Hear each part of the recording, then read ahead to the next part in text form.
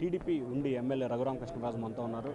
Sir చెప్పండి కూటమి గెలవటాన్ని ఏ రకంగా ఎంజాయ్ చేస్తూ ఉన్నారు? చాలా కసిగా ఉన్నారు గత ఐదేళ్ళు అందరికంటే ఎక్కువగా మేము ఏం క- ఏ రకంగా ఎంజాయ్మెంట్ అంటే ఇంతకంటే ఆనందం ఏముంటుంది? నాలుగున్నర సంవత్సరాలుగా కలలు కంటున్నా ఈ దుర్మార్గపు పాలన పోవాలి అని. ఆ కళ నిజమైంది. మరి నాలుగు సంవత్సరాల కళ నిజమైనప్పుడు ఆనందం మామూలుగా ఉండదు.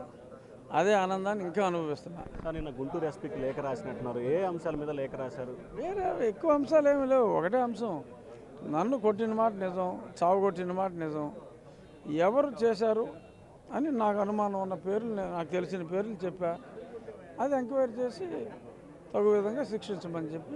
అంటే దీంట్లో మీరు జగన్మోహన్ రెడ్డి పేరు సిఐడి సునీల్ పేరు అలాగే వీళ్ళందరి పేర్లు పెట్టారు కదా. వాళ్ళందరి మీద కేసు కట్టే అవకాశం ఉంటుందంట కట్టాలి.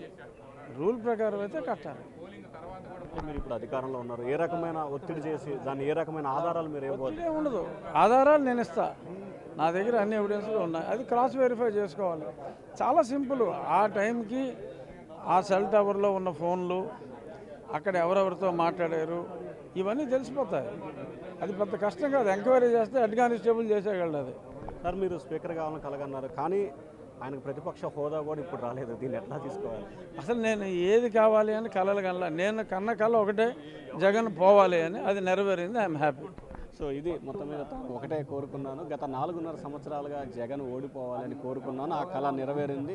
నాలుగున్నర సంవత్సరాల పాటు తాను నిరంతరం పోరాటం చేశాను. ఆ పోరాట ఫలితమే ఈరోజు జగన్ ఓటమని చెప్పి కూడా రఘురామ కృష్ణరాజు అంటున్నారు. Voter studio.